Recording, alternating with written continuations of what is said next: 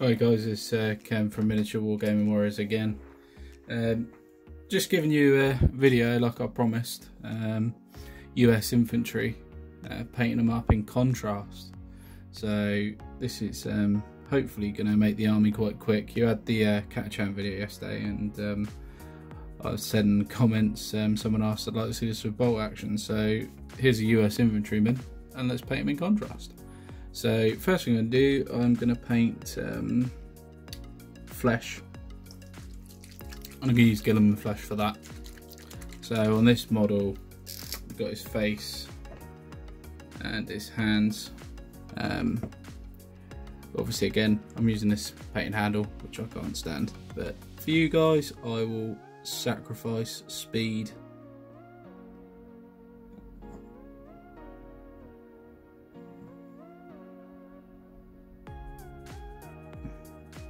and if you guys are liking this I want to see like um, different uh, factions painted up with this contrast. Uh, like British and stuff like that. Russians maybe. Liam's got loads of Russians. Um, just see what they're like. Just a little painting guide. No worries. Remember with the contrast paints any major errors we can just um, go back over with uh, Wraithbone, what we've primed with.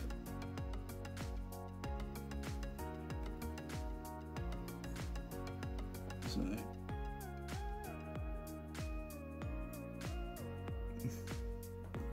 Right. There is one point in this where I'm going to have to let the model dry, and that's when I do the rifle for the metal. Um, I paint the whole rifle snakebite leather and then once it's dry I'll come back in with um, Space Wolves Grey. Seen in another video on YouTube that really gives it uh, good effects.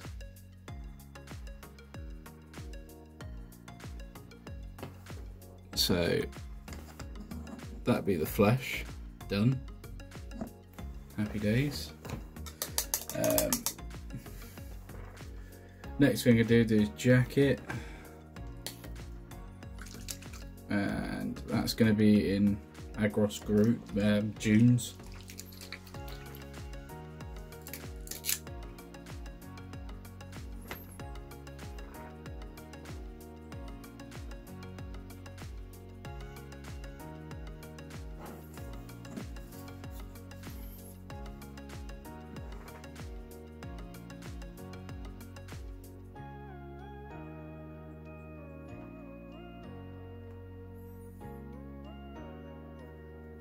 It's like a sort of dirty brown colour when it dries.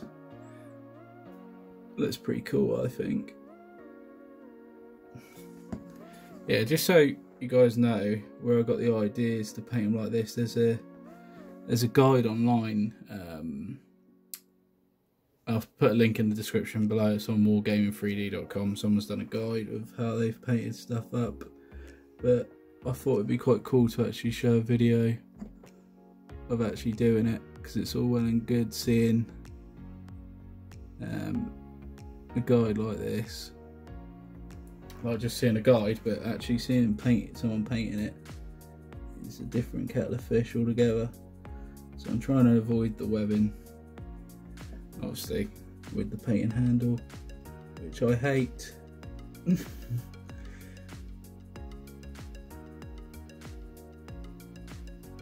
because I have to sit so far away. Oh, I can't stand painting handles.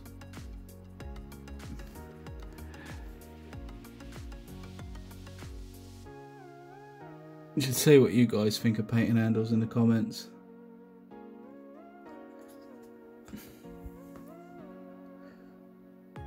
But they are not for me.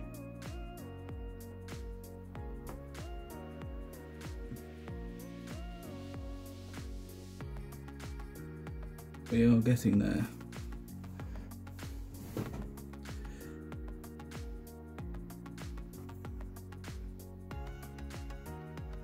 Around the back of his arm here. Yep. Just want to get, make sure we get into the recess there for his jacket. Uh, yeah, recess is good there because that's going to become belt, but under, underneath the webbing, just here.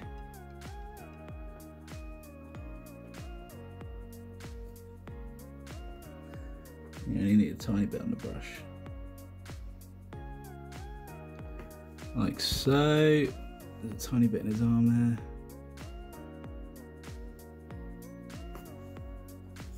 I think I've got most of it. If I've missed any, I can always go back and touch it up. But that looks like it's the jacket done.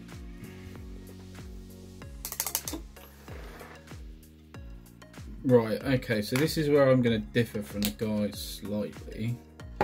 It says to use Ministorum Green uh, for the for the pants and the helmet, but I'm going to use it just for the pants and I'm going to do the helmet in um, Creed Camo because I think the helmet should be a little bit darker.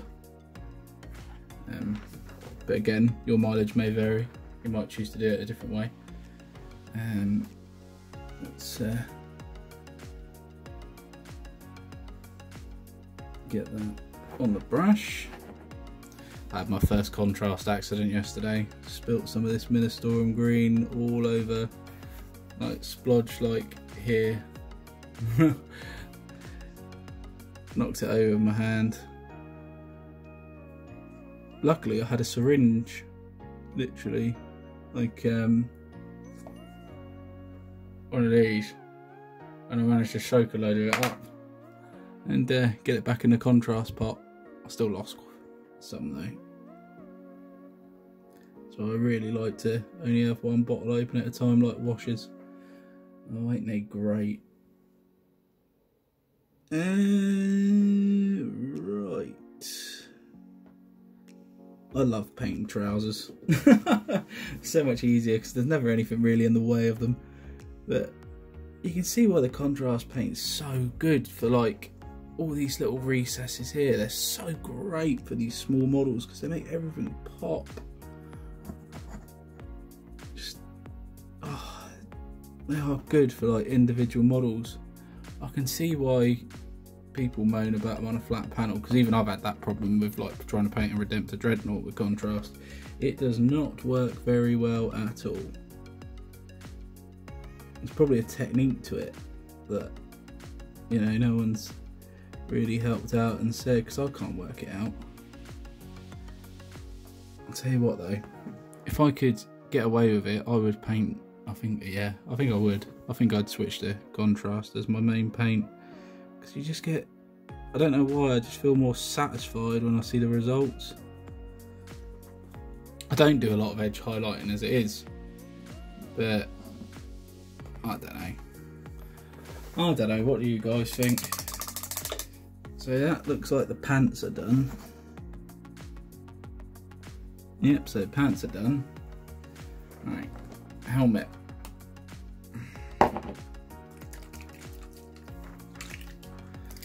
Helmet, helmet. Uh, it's helmet straps I'm going to do in uh, snakebite leather in a minute, but helmet itself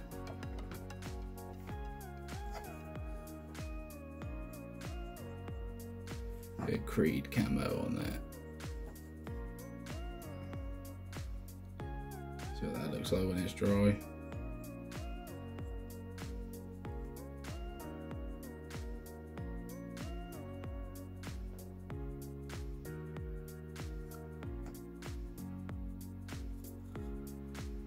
I don't think that'll look too bad. I could always, even if I want to darken it up a bit more, go over with a second coat in a bit.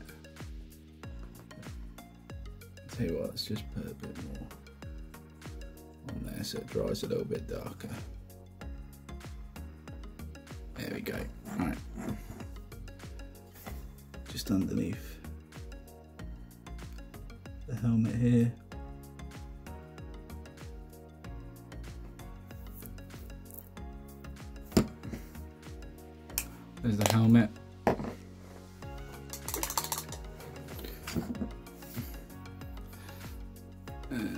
Did just notice a little bit of Guilliman flesh missing off the top there by his eyebrows. So if I just come back in, another great thing about contrast. Right, so the, phone did its uh, usual and just uh, turned off without letting me know. So I didn't get too much further ahead. I just finished putting that Guilliman flesh on. Um, but I've started this skeleton horde on all the webbing straps, all the bits around his boots. Going to be doing all this here as well. Um, straps for his uh, chin strap and his rifle uh, sling.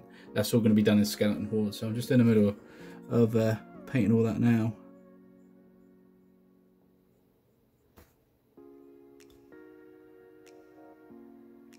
Also div the bit for his uh, entrenching tool there. Um, I'm just going to try and be mindful to leave the top of the water bottle um, exposed there because I'm going to paint that in like a metally sort of colour. Um, because I'm not too sure if these are actually completely in a leather pouch. I think they were. Um, I'm just going to leave that like that. So webbing around it.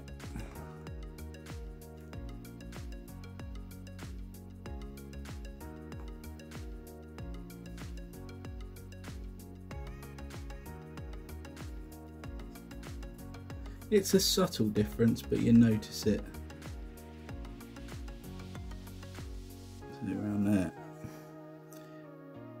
That's why I don't like the paint handle because I've got to really get in close.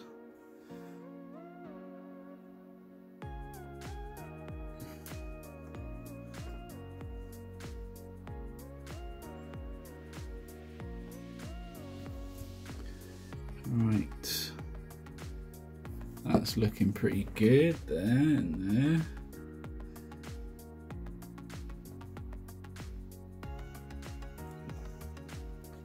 So other side just here, rifle chin strap. Just in there. Yep, that's looking pretty good. And then these bits on his boots as well. I think they're called puttees. Um, around here.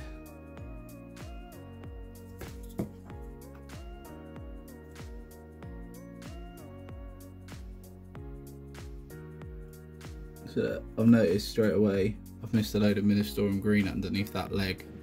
So I'll go back in a minute and um, go over that with some green in a minute after we finish with this colour.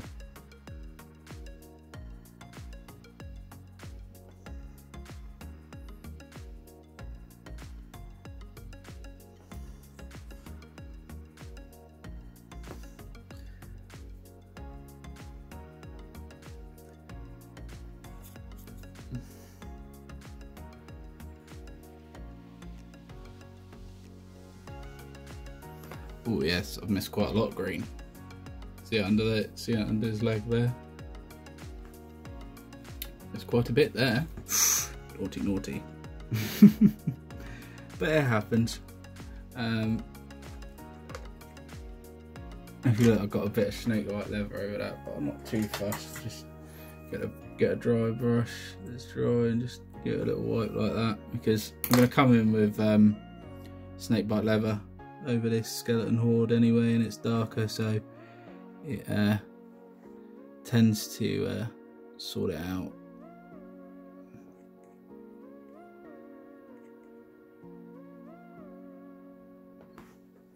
Alright, so that's them looking good.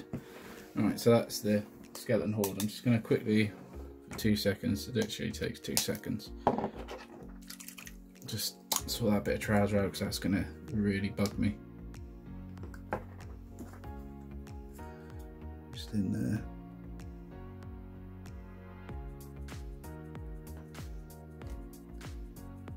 There you go.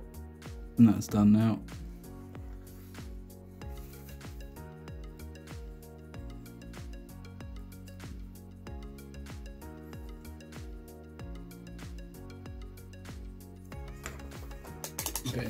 The process.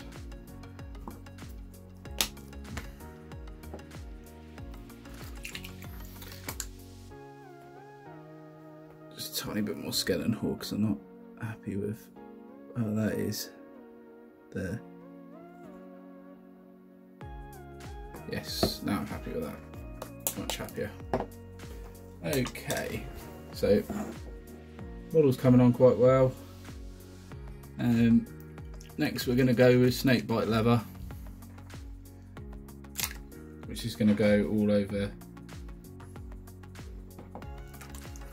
So just got the rifle webbing strap first to do.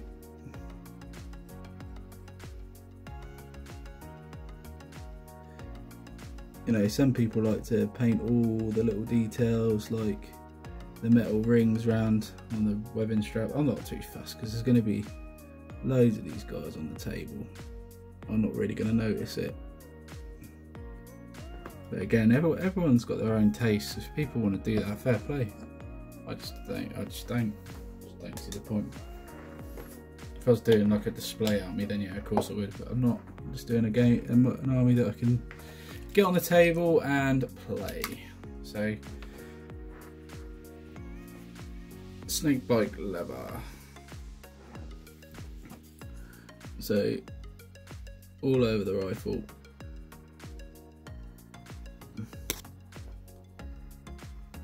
Including all the metallic parts because I'm going to come over with Space Wolf Grey over that. And it's meant to leave quite a nice, quite a nice finish.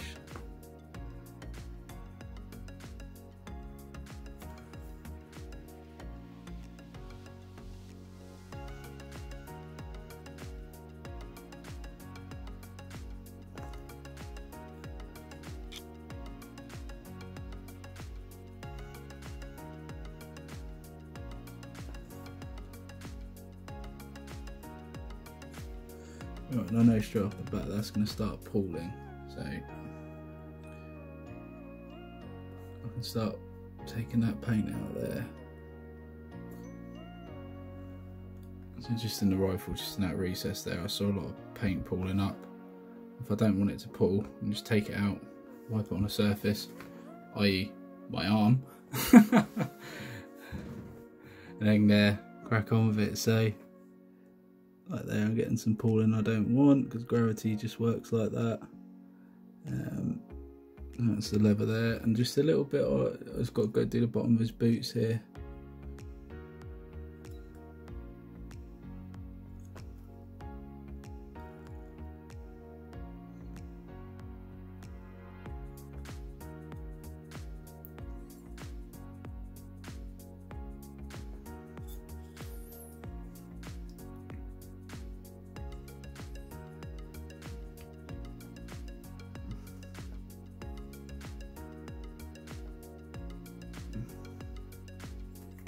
Right. We are 99% done.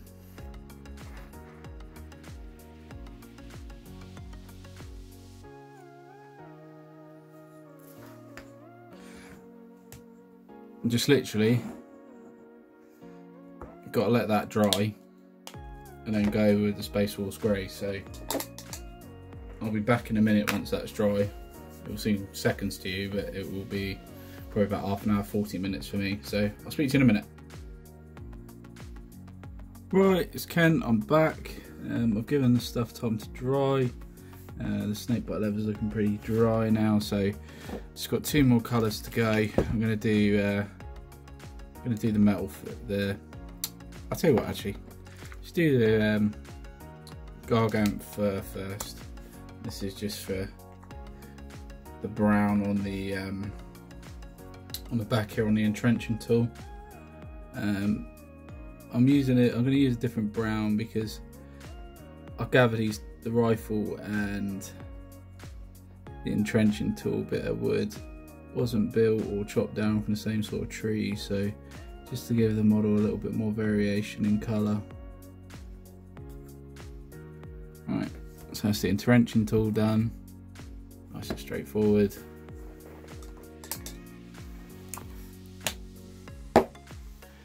And Space Wolf Grey, final colour. Right, just gonna literally dab it on the top here of the water bottle just to give it just a little bit of a different different colour. So there, just on top of the water bottle. Lovely. Now just on the rifle, this is where I've got to be a bit detailed. Try and be a bit gentle. I'm just going to go over the metal bits.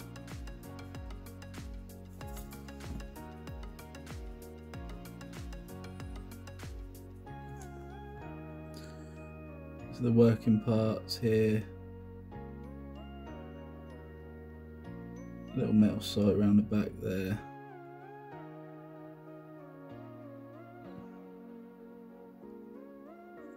Let's see how that dries in a minute.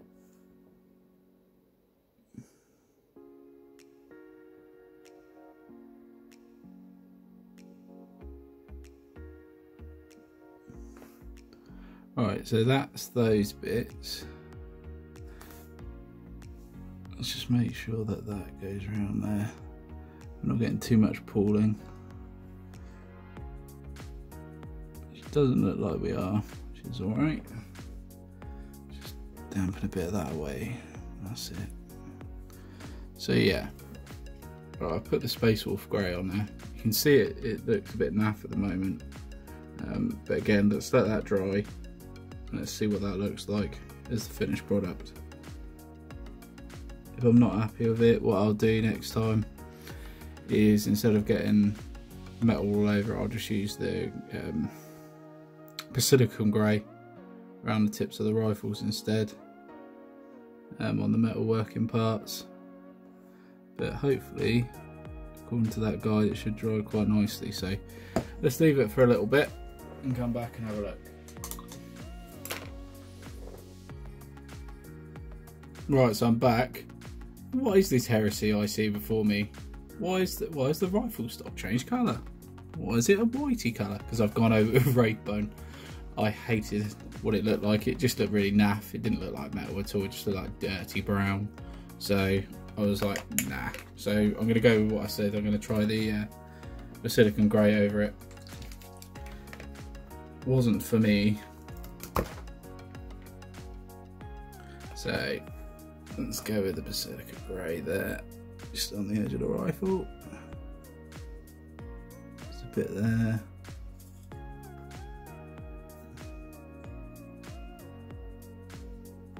And I know this looks really good once it's dry.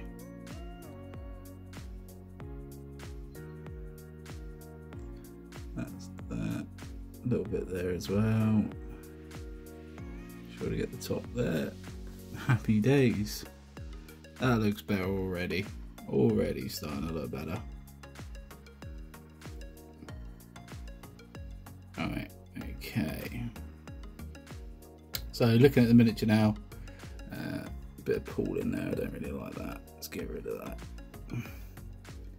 There we go. So just got a tiny bit to touch up just there, but apart from that, mini should be all good. Just do that now. Take a few seconds.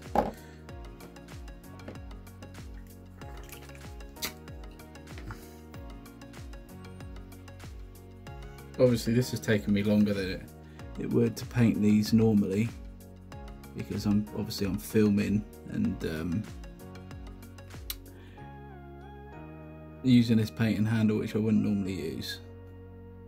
So that's get them in flesh. So that's done. Done diddly done done done. I'm calling it done. So there we go. That there is US infantry for bolt action. Just painted with contrast. Woohoo! um, yeah, I'm going to do some more of these um, because this is going to make painting bolt action a lot quicker for me.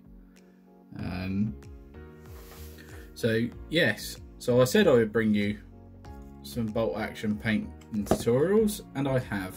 So I've kept my promise. So yeah, guys, um, thanks for watching. I uh, hope you enjoyed it.